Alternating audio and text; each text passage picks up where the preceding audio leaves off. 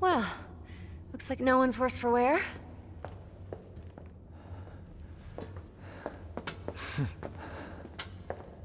I'm just gonna double check.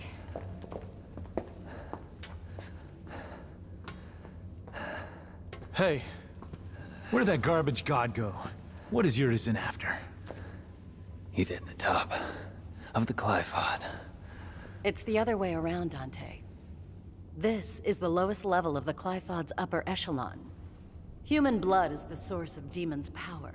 The fruit born through the Qliphoth is even more dense than the blood that created it. Its power is unparalleled. Even the almighty Mundus used it to become king of the underworld. Avid told me everything. Yeah, well, that's a lovely story and all, but as long as we know where to find him. Whoa, you are the infamous Dante. Um, I'm Nicoletta G Goldstein. Sound familiar? um, my grandmother is, is Nell Goldstein, the, the gunsmith that made all your fancy weapons that you got strapped back there. yeah, there she is! Mm, you don't much look like her. yeah, I got my looks from my daddy. That's about all I got from him. But based on his research, I, I managed to cobble this. Um, it, it, consider it a gift in honor of us finally meeting. Um, meeting.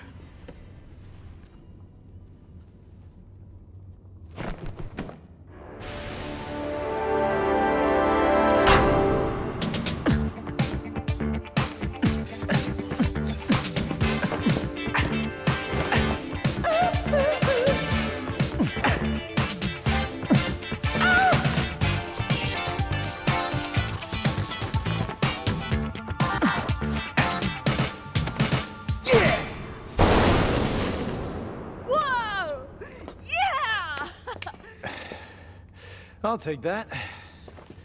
Dante. I'm gonna go too.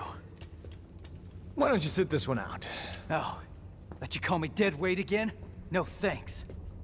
I've got all the power I need. Right here. You don't understand. It's not what I mean. Let him go, Dante. Time is a luxury that we can no longer afford. We must chase after him post-haste. What? Does that mean you're going too? I have a duty to see this through. Well, that's all you had to say, Mr. Poetry. I'm gonna go my way, and you guys can go yours. Let's just say that's the best for the cause.